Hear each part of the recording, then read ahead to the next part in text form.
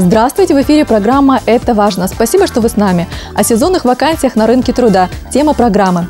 Каждое второе предприятие летом расширяет штат за счет временных сотрудников. Продавцы, разнорабочие, официанты, горничные, администраторы, водители и лидируют в рейтинге востребованных специальностей. Расширение штата на сезон для Анапы – норма, впрочем, как и выраженное сокращение к осенне-зимнему сезону. Вариантов два – искать работу в газетах с объявлениями или обратиться в Центр занятости населения в Анапе. Там на сегодняшний день 932 вакансии. У нас стоит на учете 464 безработных. Уровень безработицы 0,5%. В прошлом году э, количество безработных было 570. У нас много жителей сельских округов, отдаленных. И вахты в этот период нет, в зимний.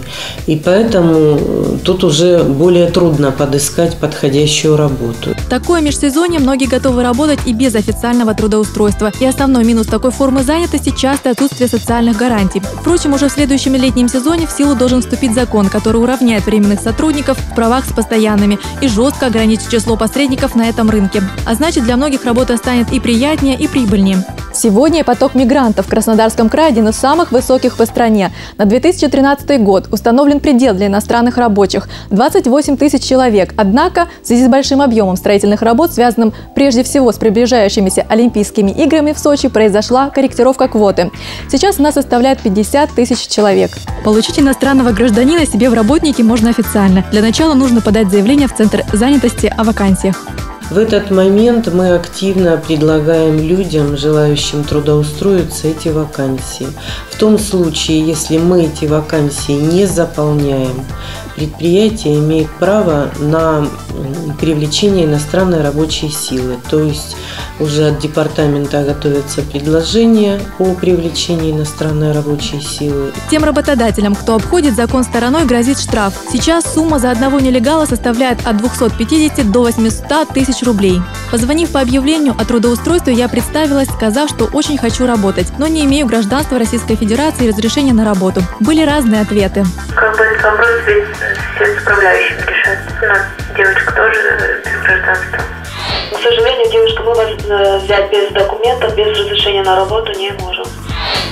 Не ошибиться с выбором. Эксперты советуют безработным, которые долго не могут трудоустроиться, воспользоваться обучением и переквалифицироваться. В это время безработный даже получает стипендию. В этом году мы уже более 150 человек обучили. В том числе востребованным, в основном востребованным, конечно же, на рынке труда именно нашего города-курорта.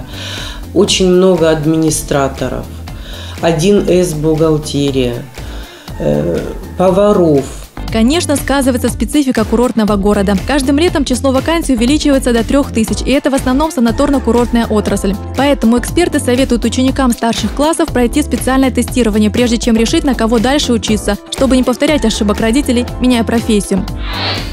Тем, кто долго ищет работу в центре занятости, предлагают решиться на кардинальные перемены – открыть свое дело. Там специалисты помогут составить бизнес-план и выделят средства на компенсацию затрат от 2,5 тысяч рублей и сумму для воплощения мечты в реальность. В этом году наш губернатор удвоил эту сумму, и теперь она составляет 117 600 рублей. В течение двух месяцев человек должен сделать закупки в соответствии с бизнес-планом, то есть только то, что отражено в бизнес-плане, а потом отчитаться документально перед нами. И далее ежеквартально мы контролируем, как работает индивидуальный предприниматель. Любые средства, выделяемые из федерального или муниципального бюджета, помощь немалая. Кассир Ася Дакашева работает в Анапском индустриальном техникуме, и ее рабочее место было оплачено. Центр занятости заключает договор и перечисляет средства тем работодателям, кто решился взять на работу инвалида. Ежегодно мы трудоустраиваем временно инвалидов на месяц, на два. Значит, работодатель платит заработную плату, а мы платим материальную поддержку 1700 рублей в месяц, которая не облагается никакими налогами. Антон Гира тоже обратился в Центр занятости, когда переехал из Крымского Анапу. Через несколько месяцев ему нашли подходящую работу. Теперь заведует компьютерной лабораторией.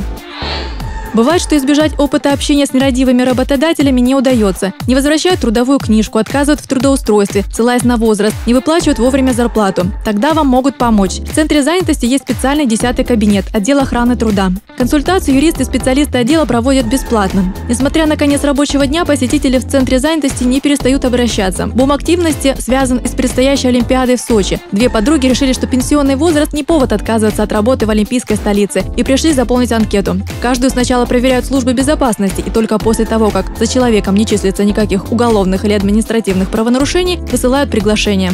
Подсобные рабочие там где-то, уборщицы по технических помещений. Хоть что будет. А самое главное поддержать наших спортсменов.